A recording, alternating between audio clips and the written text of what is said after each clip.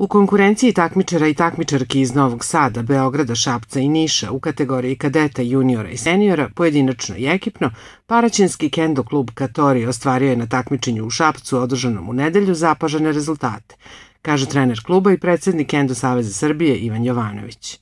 Posle popuštanja ovih mera i uopšte situacije sa, sa virusom, imali smo prvo takmičenje u, u nedelju, Satoru Kurokava kup u Šapcu. Uh, Satoru Kurokava kup je jedno od naših naj, da, uh, jedno od naših takmičenja sa najdužom uh, tradicijom, traje 18 godina, znači ovo je 18. kup i naš klub tamo učestvuje od trećeg otprilike e, i imali smo puno, puno uspeha. Sada, u nedelju smo imali E, takođe puno uspeha. U kajskoj kategoriji smo uzeli zlatnu medalju, Aleksandar Cvetković i ovaj, Jovan Ljubičić je uzeo treće mesto. E, u kategoriji juniori, znači od 14 do 18 godina, Luka Ilić je osvojio zlato, Strahinja Ćajić ovaj, srebro, Dimitrije Gajić je osvojio bronzanu medalju u ekipnoj takođe juniorskoj kategoriji.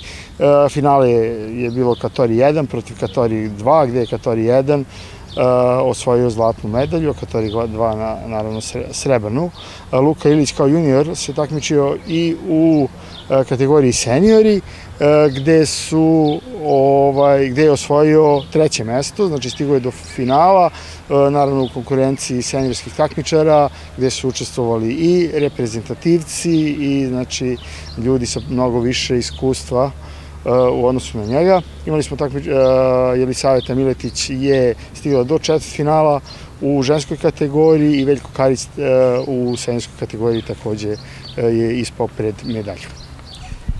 I šta je ono što vam sledi?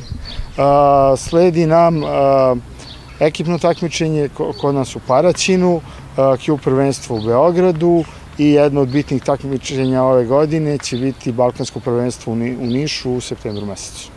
Ekipno državno prvenstvo se u Paraćinu održava već desetak godina, a datum se pomera i usklađuje sa drugim važnim kendo takmičenjima koje se održavaju u septembru.